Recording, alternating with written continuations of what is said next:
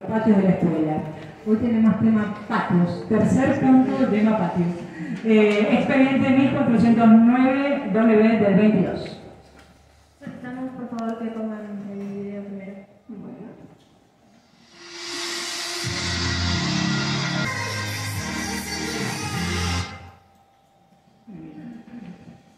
Tiene la palabra la concejala Sofía. A todos, mi nombre es Sofía y con mis compañeras estamos representando a la escuela secundaria número 31 y como ya observaron en el video, eh, nuestro proyecto es con el fin de mejorar el estado de los patios de nuestra escuela. Una de nuestras problemáticas es el patio techado. Eh, su piso fue construido con un material no apto para la realización del mismo, por lo que es un piso resbaladizo. Esto nos dificulta el uso del patio por posibles accidentes que ya han ocurrido con anterioridad. Las canchas están sin remarcar con las respectivas líneas de juego y no tienen arcos. También los chicos de la primaria, la escuela en primaria número 11, eh, utilizan el espacio como patio de recreo, por lo que alimenta el riesgo de accidentes por la manera de jugar con, los chicos.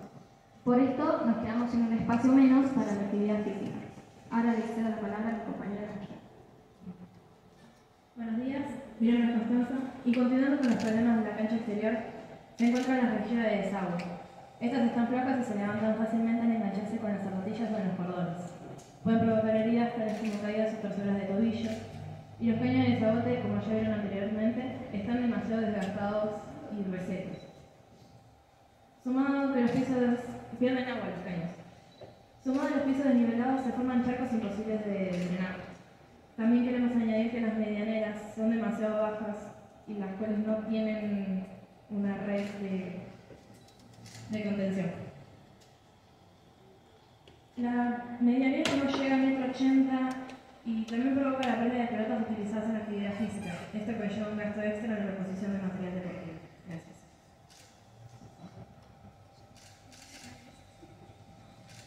Eh, considerando que nosotros los alumnos no poseemos otro espacio dentro ni los alrededores del establecimiento para realizar actividad física, este proyecto es de sumamente importancia para nosotros y para toda la escuela.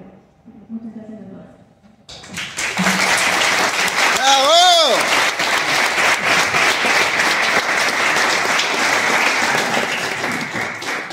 Bueno, genial. Acá, eh, Me advirtió que como somos varias escuelas, hay que eh, hacer eh, el asunto.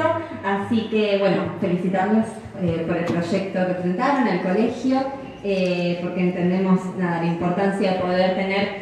Y cuento, va a llegar esto a nuestro secretario de Educación, Matías Gasparrini, que seguramente va a poner cartas en el asunto. Y claro, nosotros desde el Consejo lo vamos a trabajar con los 24 concejales que esta, la, la instancia educativa y la importancia de los pibes y las pibas dentro de la escuela es un tema que nos ocupa y que nos preocupa. Así que eh, eso, nada más que para comentarles. Entonces pasamos a la votación del proyecto. Los que estén por la afirmativa, sírvanse de levantar la mano. Aprobado.